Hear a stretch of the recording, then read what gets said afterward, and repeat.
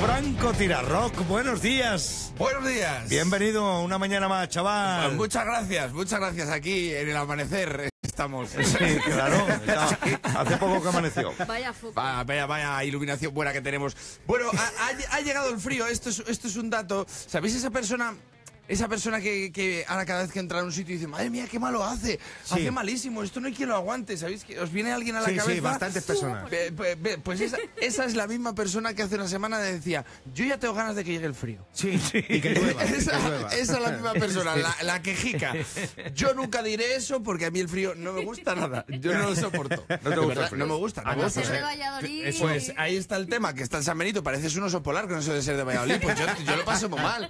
Yo es, que, yo que tengo mucho frío. De hecho, yo en mi casa doy la calefacción, gasto más de calefacción que de hipoteca, te lo juro. Ah, sí, ¿no? Muy bien. Hay- hace un calor, tengo en mi habitación tengo una foto de mis padres el día de su boda y hay días que mi padre se remanga a la americana.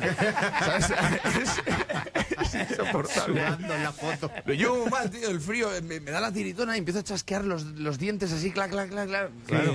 Bueno, parece que está alguien tocando las castañuelas, ¿sabes? Yo, Sí, yo una noche de invierno te puedo componer una jota tranquilamente. O saliendo de fábrica también. ¿Sabes? El sonido es como el de las cigüeñas este que hacen en los campanarios, ¿sabéis? Sí, sonido que hacen así con el pico así, clac, clac, clac, clac, clac. Hacen una velocidad. Sí, sí. Sí, que no sabes si es una cigüeña o arguiñando, piqueando cebollas, ¿sabes? Porque es, sabes, es ese rollo. Bueno, pues este sonido se, se llama crotorar.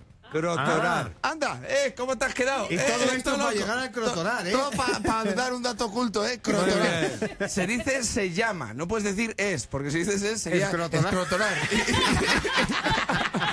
Y suena fatal eso, ¿eh? En la boca Eso suena no, no fatal. creo que sea nada que hagan las cigüeñas, no, no, no. Como mucho los cigüeños. Bueno,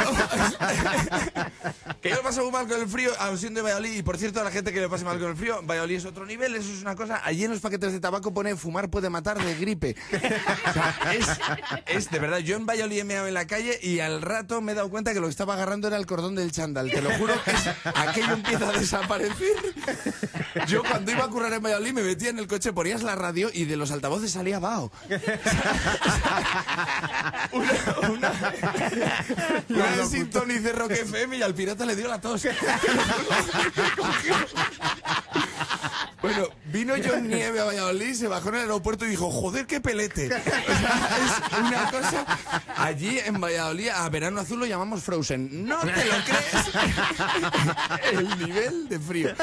Solo ha habido un sitio donde pasado más frío que en Valladolid. En Rusia. Una vez fui a Rusia, pues yo no sé por qué me dio por ir a Rusia.